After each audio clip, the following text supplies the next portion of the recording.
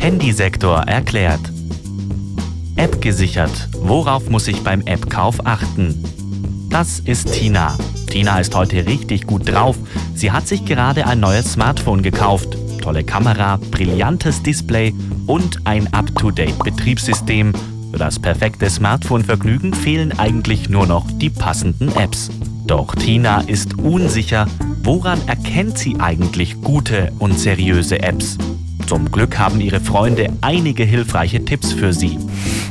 Elias hilft ihr bei der Auswahl der passenden Apps. Tina soll sich zuerst überlegen, welche Funktionen sie überhaupt benötigt. Dann suchen die beiden passende Apps aus, aber natürlich nur in den offiziellen Stores.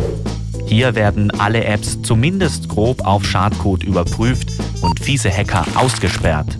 Die Top-Download-Listen sind nicht immer hilfreich, denn nur weil viele Nutzer die App installiert haben, heißt es noch lange nicht, dass diese auch gut und sicher ist. Elias schaut viel mehr in die Nutzerkommentare und liest vor allem die schlechten Bewertungen durch. Im Zweifel wird die App nicht installiert.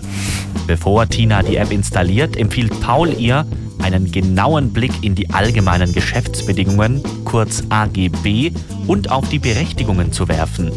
AGBs kennt Tina, das sind diese ellenlangen und unverständlichen Texte, die sie immer wegklickt. Tina sieht aber ein, dass es sinnvoll ist, die AGB zumindest zu überfliegen und auf Angaben zum Mindestalter und Kosten zu achten. Damit die Daten auf ihrem Smartphone vor App-Spionen geschützt sind, überprüft Tina zudem die Berechtigungen. Verlangt eine App unnötig viel Zugriff auf Daten oder Funktionen, sollte Tina zu einer besseren Alternative greifen.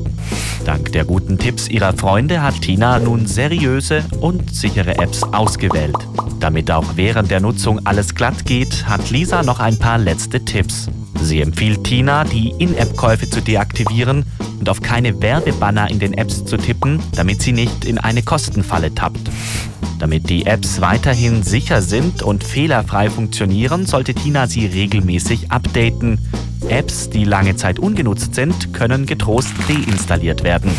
Und falls Tina mit einer App einmal unzufrieden ist, kann sie diese je nach Store innerhalb von wenigen Stunden oder sogar Tagen zurückgeben und erhält in der Regel den Kaufpreis zurück.